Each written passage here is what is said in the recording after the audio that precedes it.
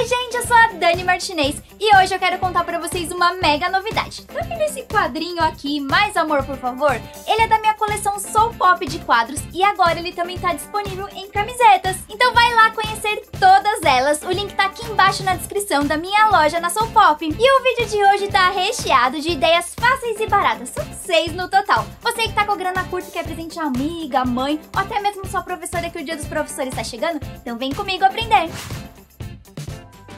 Vamos usar um CD como base e encapar ele com EVA na cor que você preferir. E aí recorte do mesmo tamanho do CD e cole um pedaço de EVA de cada lado, para ele ficar bem firme e bem bonito. E vamos precisar de duas partes iguais a essa. E vamos decorar essa primeira. Eu recortei no EVA bege o formato de um donut. Vou colar ali na capa e fazer um sombreamento usando canetinha escolar laranja. É só ir contornando com um pouco de canetinha e esfumando com cotonete. Depois por cima eu colei a cobertura de morango do donut Hum. E vamos também sombrear com canetinha pink. Agora com um marcador colorido de várias cores, eu fui fazendo risquinhos ali para simular o granulado. E é hora de deixar esse donut bem fofinho fazendo um rostinho. Colei esses dois olhinhos e esfumei ali as bochechinhas. E com o marcador preto eu desenhei os cílios e a boca. Olha só que fofo. Separe essa parte e recorte pedaços de EVA de 10 por 4 centímetros. E aí é só enrolar ele assim, fazendo tipo um caracol, um canudinho. E quando chegar ali no final para ficar bem preso, é só colar com cola quente. E vamos precisar de vários iguais a esse. E agora usando a outra parte que fizemos com CD, vamos colar os rolinhos todo em volta. Vai colando um a um até preencher tudo. E o donut, gente, é a tampa do porta-joia. E o puxador eu fiz também com um rolinho, só que menor.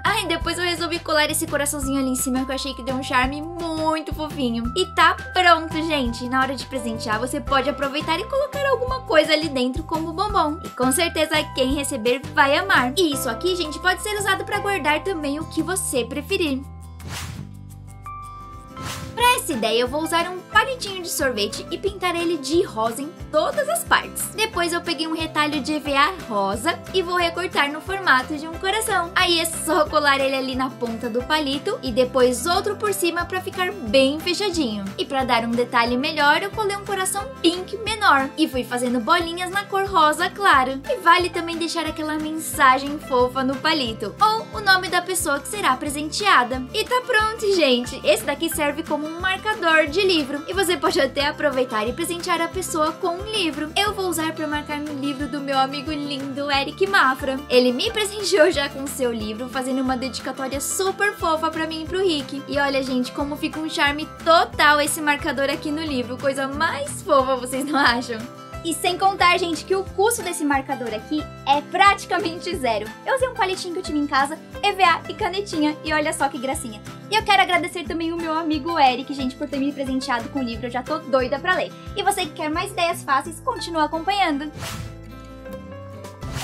Vamos usar EVA e recortar no formato do molde que vou disponibilizar aqui na descrição. Recortei essas duas partes. E nessa aqui meia tortinha, eu vou passar cola quente ali na lateral e unir uma ponta com a outra. Depois é só você passar cola quente na parte toda de baixo e colar ali em cima naquela parte que parece uma flor. E vai ficar assim, gente. E ali embaixo, para dar um detalhe mais bonito, eu colei essa correntinha. Agora eu recortei na mesma cor de EVA uma tira ali de um centímetro e bem comprida. Fui enrolando uma das pontas tipo um caracol até ficar uma bolinha assim. Aí você cola por dentro para não soltar, depois passa cola por fora e cola lá na xícara. E vamos montar mais ou menos esse formato. Então a outra ponta você também vai enrolar, colar ele ali para segurar e depois cola ele na base da xícara. E olha que gracinha que fica. Para decorar ainda mais, eu recortei esse molde no EVA rosa e fui ali enrolando tudo. Enrolava um pouco, colocava um pininho de cola, enrolava mais um pouco, mais um pininho e assim até enrolar tudo. Aí Passa cola quente embaixo de tudo para ele ficar bem firme e tá pronto, gente. Olha que rosa mais fofa e mais fácil de fazer. E aí eu fiz outro igual e vou decorar a xícara. Antes recortei no EVA verde essas folhinhas, colei e por cima as duas rosas. E tá pronto, gente. Você já pode usar essa xícara para presentear com coisas pequenas. Eu tô dando chocolate que todo mundo ama, né? E para ficar ainda mais lindo na hora de presentear, você pode colocar um papel celofane transparente. Ah, gente, essa ideia aqui também fica super legal para você presentear presentear num chá de cozinha, você não acha? E eu amei o resultado. Vamos precisar de um papel de patchwork, desses desenhadinhos assim mais grosso. Recorte na medida de 21 por 13 centímetros e faça essas marcações que tem aqui no molde que está disponível na descrição. Em todas elas nós vamos fazer um vinco usando régua e a ponta de alumínio de um compasso. Assim vai ficar mais fácil na hora de dobrar. E depois de todos os lados já dobrados, nós vamos montar a caixinha dessa forma. Levanta a parte maior e vai dobrando formando meio que um triângulo ali na emenda. Faz isso nas quatro partes e pronto, você já tem uma caixinha. Para fazer o fecho, eu vou usar uma fita de cetim bem decoradinha e vou colar ela aqui na parte de cima, colando apenas a fita na fita, sem colar no papel, ok? E para dar um detalhe ali mais charmoso, eu colei um laço. E prontinho, gente, faça assim, você já tem uma caixinha para presentear com qualquer coisa pequena. Simples demais, não é? E esse daqui, gente, eu fiz assim, bem pequenininho. Mas vale também fazer com um pedaço de papel maior para presentes maiores. E você que gosta de ideias assim, não esquece de deixar o seu joinha e comentar aqui embaixo a hashtag DIY fácil e barato. Assim eu posso trazer mais vídeos como esse. Mas vamos lá que ainda tem duas ideias. E vamos usar um papel de gramatura no mínimo de 150. Pode ser desenhadinho assim. Recorte um quadrado e faça marcações na parte de trás, dividindo primeiro em quatro quadrados iguais e um deles você vai dividir ao meio, transformando em dois triângulos. Agora, usando a régua e a ponta de alumínio de um compasso, nós vamos fazer vinco em todas essas marcações. Isso vai facilitar muito na hora da dobradura. Aí, nessa parte aqui, nessa reta que vai ali de encontro com o triângulo, nós vamos recortar. E ele vai ficar mais ou menos assim, gente E aí na hora de dobrar, é só ir dobrando tudo do jeitinho que vocês estão vendo aí no vídeo. E essa parte recortada vai ser colada uma em cima da outra. Mas antes, nós vamos decorar com fotos. Deixe seu papel nessa posição e colhe duas fotos, uma cada quadrado, viradas assim para o mesmo lado. Agora sim vamos montar a dobradura colando a aba solta. Eu colei usando fita dupla face e o resultado, gente, é esse. Tem que ficar nessa posição, tá bom? Depois eu fiz a mesma coisa com um pedaço de papel preto. Colei as fotos ali em cima e montei toda a dobradura. E o próximo passo é colar uma parte na outra, também usando fita dupla face.